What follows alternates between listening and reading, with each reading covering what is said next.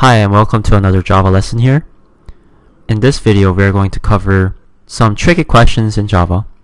So problem number one is this one. So if you have three different variables, um, z, y, x, z is equal to 3, y is equal to 2, and x is equal to 1. And the question is, what will be the outcome of this code? Or simply, what will be the outcome of z at the end of this? So you'll notice that we have both post and pre increment or decrementing here. And that's the concept you will need to be solid on in order to solve this problem. So what's the difference between doing an increment after the variable and doing a increment or decrement before the variable? Now the key difference I can show you in this example. So say we have a which is equal to 2 and b which is going to be a post incremented plus 1. Now the difference between post and pre is that pre applies the increment or decrementing before anything else. Whereas post incrementing or decrementing applies everything else first and then increments or decrements the variable. So here we have post incremented we have plus plus signs after the a variable. That means 2 will not become 3 until this whole expression has happened. Or even better, until this whole expression has happened. Until b is assigned a value of a plus 1, this plus plus is not going to be applied. Meaning, b, when we print out b here, b will be 3 since a will still be 2 when it is added a value 1 and which will be the number that's going to be assigned to b. So let's see if that's what it is and 3. Now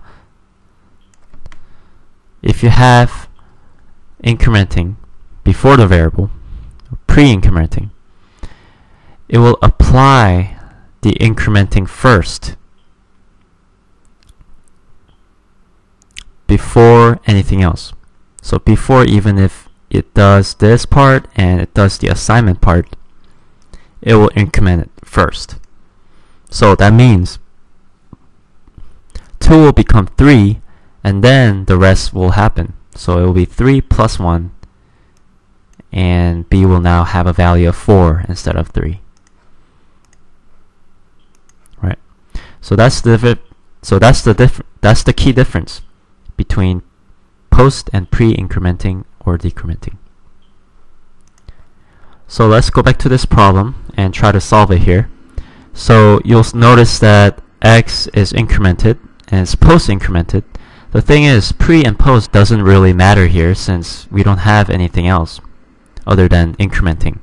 So x will become 2 no matter what. And same thing with y here, it will be decremented so y will be 1. Now this is the tricky part, right? So you gotta remember, post is applied after, pre is applied before.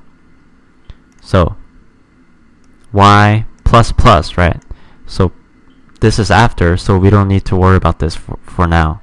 So just keep y as is. So y is 1, so we have value of 1 here plus x is pre-decremented. So the decrementing part will be applied first. So meaning x is 2, but it will be decremented by 1, so it will now be a value of 1 here. So 1 plus 1 plus, notice the z is also pre-incremented, so instead of 3, which is the value of z, we're going to have 4.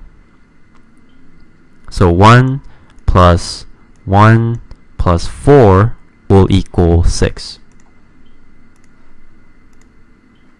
Which is what we get. Now what do you think the value of x and y would be? In the end, the incrementing and decrementing will apply. So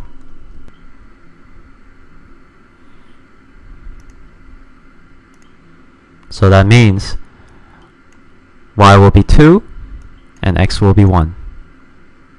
Alright, so that's question number 1. So that's tricky question number 1.